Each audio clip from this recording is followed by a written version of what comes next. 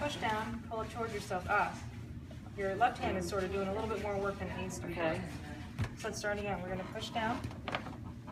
Both hands still in the same place here. Bring it up. Hold on, hold on. You're doing way more. Okay. Just keep keep it simple. Just keep still.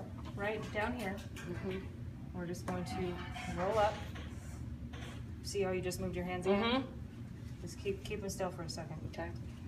All this right hand is doing is, is kind of rotating. As as you pull up toward yourself, this hand kind of stays the same. Okay.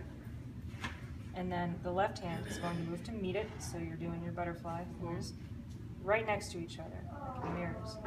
And you're going to rotate this way. So you feel that point? How it's Mhm. up on that point? Now you're going to push down and through, mostly with the left hand. Bring it up and turn this hand. Find the cone. It's hard to adjust it first because it's going to be kind of wonky. Yeah.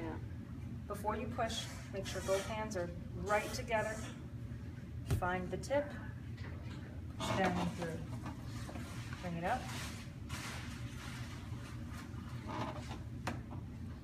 Now, I can see your cone is actually, your swirl is happening on this side. So go ahead and move your right hand so it's nice and flat there. And that will stay there this whole Okay, time. That shouldn't change at all because you're not really pressing with the right hand. Okay. And you can, yep, feel the tip. Now you're gonna bring it up and you just turn right there. Bring the left hand to meet, rotate up onto that tip and then push down and through.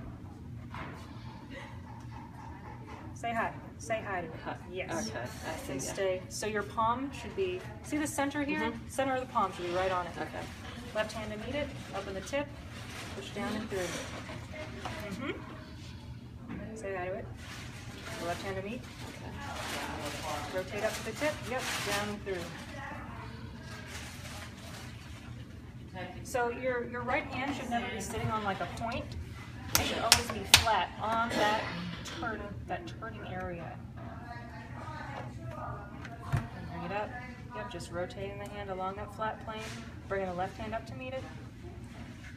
Finding that tip and then pushing.